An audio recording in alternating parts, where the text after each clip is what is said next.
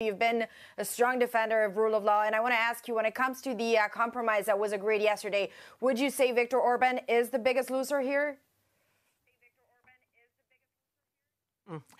I will uh, rather speak about the winners. The winners are the citizens of Europe and uh, the taxpayers because uh, in, in bad times we need good news. There are two good news. For the citizens that the budget is unblocked because we desperately need to start to distribute the money for recovery after COVID. And the second, for the taxpayers, uh, for a long time, the, the people in Europe are telling us that they want their money to be better protected wherever the money goes. And you, you know that we have a very big redistribution uh, machine. Uh, we are sending a lot of money to all the member states. So uh, the, the bigger protection of the money and, of course, also of the rule of law principle, because this, this was my intention to achieve that when I came for the first time with this idea already in 2017. Right, and and I want to ask you a question specifically about the reaction in Hungary because uh, Viktor Orban is saying that this is a victory for him that he's been able to separate the money from the politics. But I look at the the wording on the deal and I don't see anything that's changed except for a few uh, guarantees that uh, the European Court of Justice could play a role. So I wonder why is he claiming victory over this? It's a question for Mr. Orban. It's good to read the, te the text, uh, which you have done, and thank you for that, because uh, we always uh, should know what we are speaking about.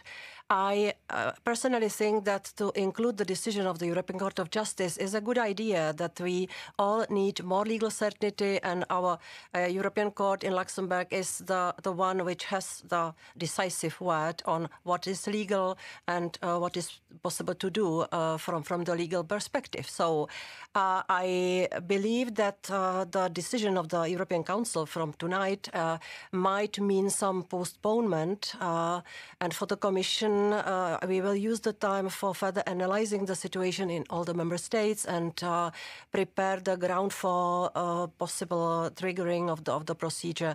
But I cannot say now that we will trigger it against any concrete country. Uh, I, I, mean uh, Hungary or, Pol or, Poland, which uh, were the countries which blocked it we will be objective and we right. will and, and, you uh, know, have maybe more time to, to do this right. analytical work properly. Yes. Right, and, and a lot of this I know you talked about was accountability, and we know that this was a huge theme for the Dutch, and for particular for Prime Minister Mark Rutte, where he said every euro cent needs to be checked. Money cannot go to cronies. That's something that, that he said uh, many times. Do you think that with uh, this compromise that you achieved last night, are you going to be able to do that to make sure that every euro that is spent is checked and done properly? This is a very big step forward, uh, and it gives us a much uh, stronger tool to guarantee what you are asking about and what, uh, rightly so, Mr. Prime Minister Rutte is asking for, because uh, his country belongs to the net contributors country, uh, countries, and the taxpayers in the Netherlands of course, again, rightly so, ask about how our money is protected. And uh, I can guarantee you that this new tool was heavily needed to, give this guarantee to the taxpayers, not only in the Netherlands. And we will, as Commission, uh, act in objective manner. We will do the proper analysis, and if necessary, we will use this tool. And Commissioner, just as a final question, I have to ask you about Brexit purely because we understand that the head of the Commission was briefing European leaders and she says the situation is very serious. She thinks the probability of a no deal is now bigger, higher than that of a deal. How worried are you at the Commission about the prospects of a no deal happening almost imminently on Sunday? I have to refer to the words of the president because I am not part of the negotiating team.